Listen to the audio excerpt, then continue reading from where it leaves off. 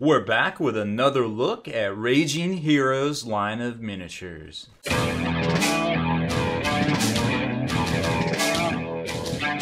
Spikey Bits. They're not joking when they say they're the toughest girls in the galaxy. What's up, hobby maniacs? I'm Rob Baer from SpikeyBits.com, and we are checking out Raging Heroes larger scale kits, or I guess a troop kit and a larger scale kit today as we continue to showcase some of their miniatures that they sent us for you guys. Uh, like I said, I've been using their, their line, a couple different miniatures here and there for several years, but I didn't have any of the newer stuff and I haven't worked with some of the new material that they started using since all their Kickstarters and stuff. So I wanted to check them out and they offered to send them. So I said, hey, this might just work out. So real quick, before we jump into the miniatures, I wanted to show you their website. Now, a couple of things that come, that pop right out at me that you may not notice right at first is they're always having some sales going on. This one, they have a special uh, January sale, two for the price of one. Sometimes special miniatures pop up that you can get. If you spend a certain amount, you get them for like five or 10 bucks. They have a pretty robust line uh, between fantasy, sci-fi. They got army pack deals in here. If you're looking for a specific range, you can check that out. They even get chaotic miniatures here. But I think what I always like to showcase the most for everyone is the fact that you can convert the dollars, right now it's set to US dollars, but in euro to US dollars, the difference is pretty much what you would expect to see if, you know, there was an exchange rate and obviously money moves and you always have to pay for it, but it's a little ridiculous in some cases uh, that we've showcased in the past with miniature companies selling uh, the conversion rates, uh, just setting it too ridiculously high, as in the case with uh, Games Workshop and per perhaps Forge World and things. But this review is obviously about Raging Heroes. Now here you can kind of see the Jailbirds line that they have, which is more kind of steampunky, and then they've got Kurgan Novas, they've got chaotic stuff, Space Knights, they pretty have uh, they just have a range that really goes on and goes on. Uh, we're gonna look at probably some of the jailbirds today. I think we got in some of the Iron Empire too. So let me show you those. These are a little bit more what you would expect to see in the grimdark future kind of type deal. Not necessarily like in a Mad Max kind of post Armageddon. This is definitely something that you would see, and I think we showed you this one last time here in um, Warhammer 40k, for instance, or you know, just a good one-off piece.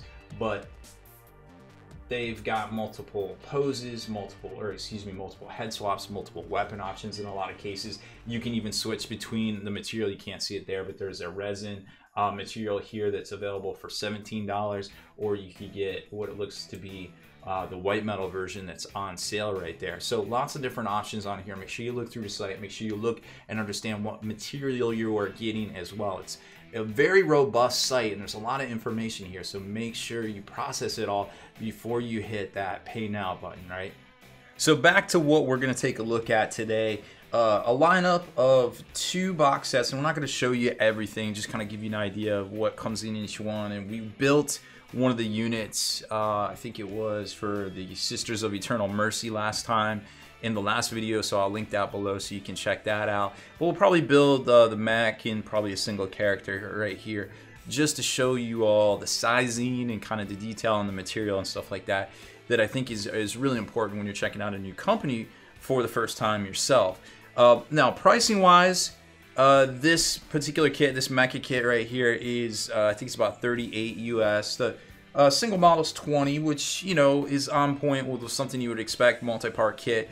Uh, it's way less than a multi-part kit from Games Workshop, but still on par with what you would expect from any other resin maker out there that we've showcased in the past, that maybe any of them that we haven't gotten to yet. And then the squads themselves are 2268. Now, these are the crew squads uh, but they also have like well, the troopers, but they also have command versions of them too. So if you want to combine them to make a 10 man squad, you're talking, you know, $42 for for 10 resin miniatures, which starts to when you can when you compare it to some of the multi-part kits like something from Games Workshop for 10 models, it starts to become more expensive. So you really have to kind of do your due diligence and price it to something from Forge World or something like it from a competitor, which their competitors, they're all pretty much the same price as the people we've showcased in the past. But the Games Workshop, obviously the plastic kits are going to be less, but these are more detailed. It's comparing resin to plastic, which isn't a fair comparison in a lot of realms. So we're just gonna kind of avoid that, but I wanted to mention that right off the bat. Now let's dive in and take a look at, uh, let's take a look at the mecha first. So I already showed you this in the first video, but they reuse a lot of their sleeves, which I feel like is pretty smart. And there on the back, you can kind of see the components and the things that are going to come inside of it. Open it up, a nice secure corrugated cardboard box. They have a thank you card in here. Again, you don't see that very often from any company. I can, like it, like I said, count them on my hand how many times we've seen a thank you note, um, and it's not many. And how to wash resin and how to prime resin, which are very important things here, and we have covered that in the past.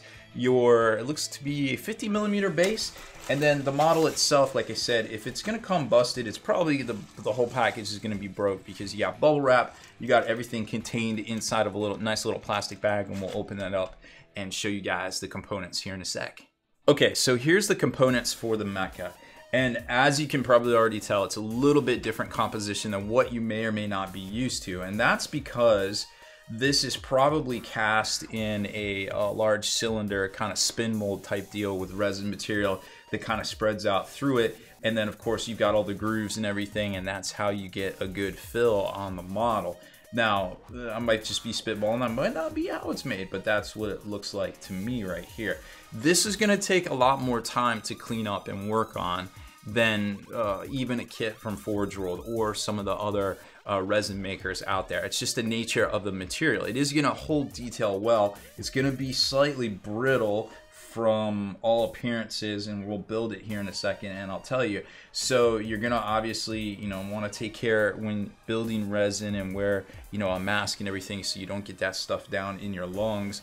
But for the most part, um, you're gonna get a, a good cast, but the material might not be exactly what you're expecting and the hobby time might be a little bit longer. Now, that being said, hey, you got to ask yourself at the end of the day, is this something I want to work with? For most folks we're used to this sort of thing, I mean, the, the hobby is about uh, putting forth the effort and, you know, going through and trimming down all the mold lines and things like that. And there are some pretty substantial mold lines in there that you may or may not be able to see from this, but you can also see that there's a lot of detail in there too.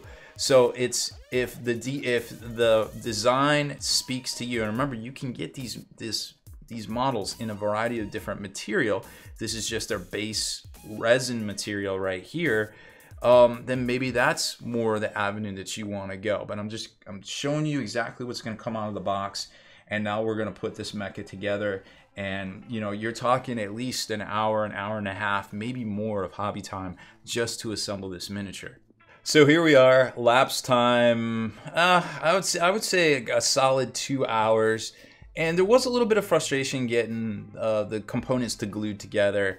Um, that just may be the glue I had on hands, but um, a little little bit of a frustration. But it's okay, we're past it now.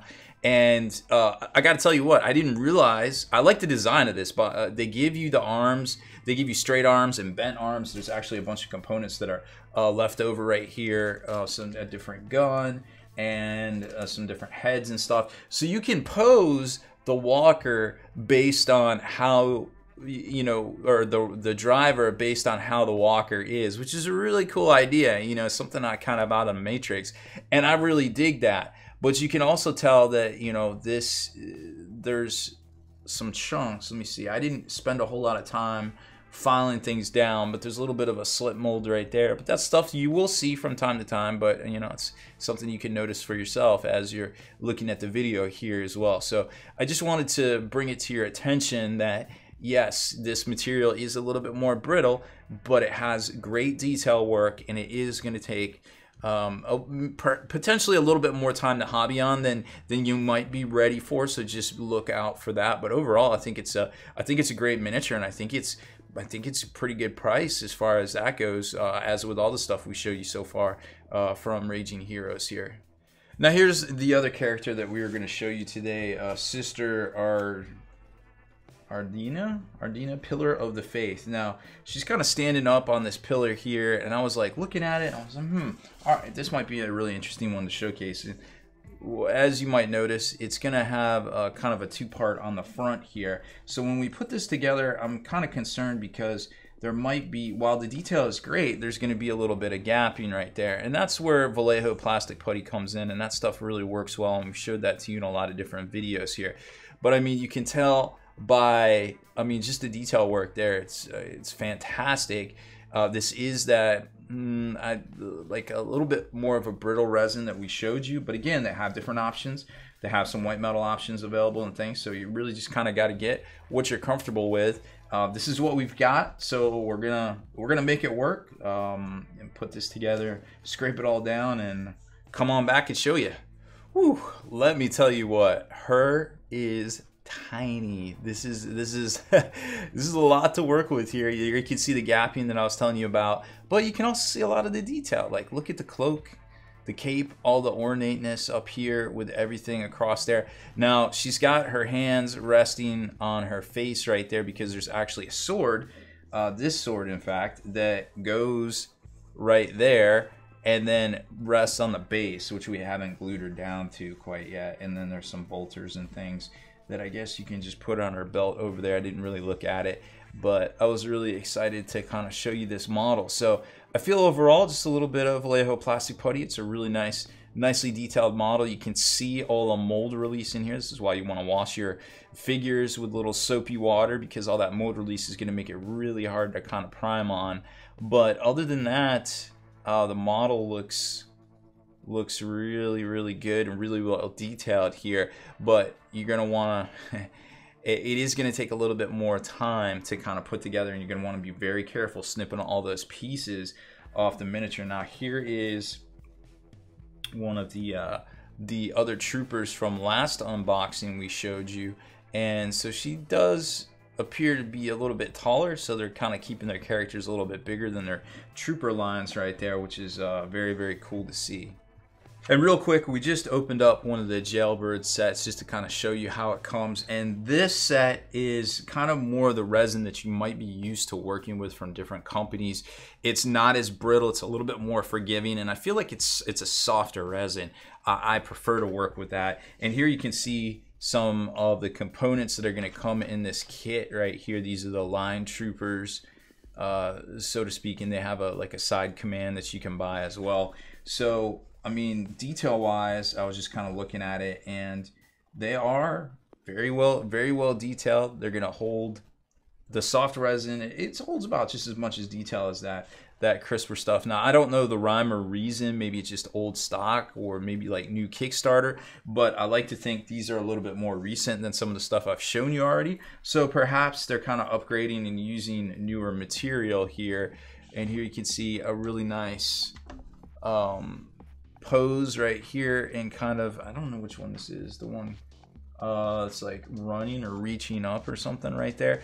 But like I said the the details are really good. You can see all the bullets and everything on the bandolier right there. And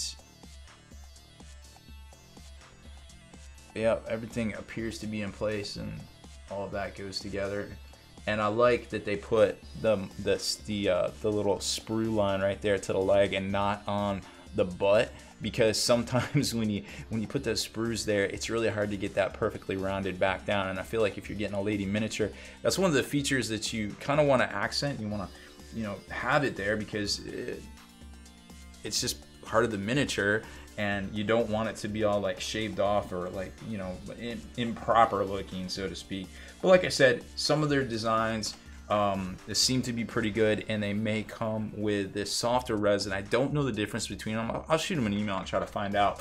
Um, maybe i can hear back before this uh, video goes live. So that was a look at all of the last three things i kind of wanted to show you. There's the iron empire 2 that i'm sure are uh, very well done. You can see on the back some of the options and things. So going forward, I expect them to get better and better and hopefully use some more of this uh, resin, the softer resin here that folks seem to like a little bit better than uh, perhaps, you know, some of that more brittle stuff like uh, the Mecha right here is using. But some of the newer designs seem to be using that uh, softer resin right there. So overall, I think uh, I think they're pretty cool. And if you want to compare them to some of this other stuff here, like uh, some G-Dub stuff, we got a little Dire Avenger Deuter, and you can kind of see exactly how big they are. And then here is a blast from Spikey Bits past as well, We've got the Gluttony Demon Duder guy, and we painted him up several several years ago. And this was uh this was that softer kind of quality resin, which is maybe you know just being that size, it's just what they had to use, just to give you an idea of uh, you know demon print size right there. So we've got all sorts of different miniatures floating around right here throughout the ages, and it's uh, it's good to finally get some of these uh, Raging Heroes uh, on camera as well. So what do you think about Raging Heroes? Drop it in the comments below. I'd like to hear what you think personally of uh, of them. If you'd like to see more of them here on the channel, and perhaps we can reach out and get some more of the miniatures uh, here for us to showcase and review as well. So I'm Rob Baer again. Thank you for your time. Make sure to hit that subscribe button and turn on notifications so you can be the very first to like and comment on all our videos.